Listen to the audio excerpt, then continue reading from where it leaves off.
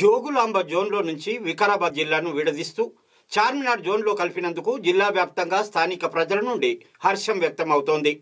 ఎన్నికల సమయంలో ప్రజలకు హామీ ఇచ్చిన ముఖ్యమంత్రి కేసీఆర్ తన మాట నిలుపుకున్నాడని వికారాబాద్ ఎమ్మెల్యే డాక్టర్ మెతుకు ఆనంద్ సీఎంకు తన కృతజ్ఞతలు తెలిపారు.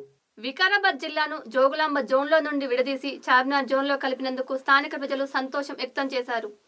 ఎమ్మెల్యే క్యాంపు కార్యాలయం నుండి ఎన్టీఆర్ చౌరస్తా వరకు ర్యాలీగా వచ్చిన టీఆర్ఎస్ నాయకులు కార్యకర్తలు బాణసంచా కాలుస్తూ పరస్పరం మిఠాయిలు పంచుకొని తమ ఆనందం వ్యక్తపరిచారు. మన గౌరవ ముఖ్యమంత్రి శ్రీ కల్వకుంట్ల చంద్రశేఖరరావు గారు ఎమ్మెల్యే ఎలక్షన్స్ లోపల వికారాబాద్ ప్రచారం లోపల ఏదైతే మాట ఇచ్చిండ్రో ఆ మాటను నిలబెట్టుకోవడం జరిగింది. ఆ రోజు వికారాబాద్ క్యాండిడేట్ అయినటువంటి డాక్టర్ ఆనంద్ని గెలిపించండి. నేను వికారాబాదు వాసులందరికీ కూడా ఒక కానుకగా చార్మినార్ జోన్ లోపల మళ్ళీ వికారాబాద్ను కలుపుతానని చెప్పి చెప్పడం జరిగింది. ఆ మాటను నిలబెట్టుకున్నట్టు ఈరోజు గద్వాల జోగులాంబాలోంచి తీసి వికారాబాద్ జిల్లాను మళ్ళీ చార్మినార్ జోన్ లోపల కలపడం అనేటటువంటి వికారాబాదు వాసులందరికీ కూడా మేలు చేసేటటువంటి ఒక పని. ఎందుకంటే వికారాబాదు హైదరాబాదుకు చాలా దగ్గరగా ఉన్నటువంటి విషయం అందరికీ తెలిసిందే. అయినా కానీ చాలా వెనుకబడి ఉంది.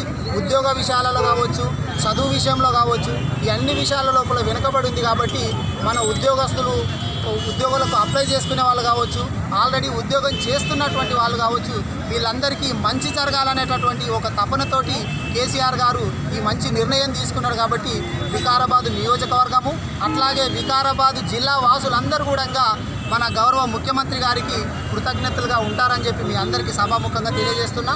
అట్లాగే ఈ ఉద్యోగస్తుల వయసు కూడా వీలైనంత తొందర లోపల అరవై లేదా అరవై ఒకటికి పెంచుతానని చెప్పి గౌరవ ముఖ్యమంత్రి గారు మాట ఇవ్వడం జరిగింది.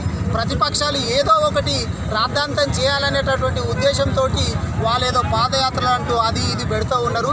మనం మొన్ననే చూసినాము రంగారెడ్డి పాలమూరు పథకాన్ని కూడా వీలైనంత తొందరలోపనే కేసీఆర్ గారు మళ్ళీ చేసి మన వికారాబాద్ జిల్లాకు నీళ్ళు తీసుకొచ్చి జిల్లాను సస్యశ్యామలం చేయాలనేటటువంటి ఉద్దేశంతో ఆయన కంకణం కట్టుకొని కూర్చున్నారు కాబట్టి వికారాబాద్ ప్రాంత ప్రాంత వాసులందరూ కూడా మన గౌరవ ముఖ్యమంత్రి కేసీఆర్ గారికి రుణపడి ఉంటారని చెప్పి వికారాబాద్ ప్రాంత వాసుల తరపున అందరికీ కూడా మళ్ళీ మన ముఖ్యమంత్రి గారికి ధన్యవాదాలు తెలియజేసుకుంటూ సెలవు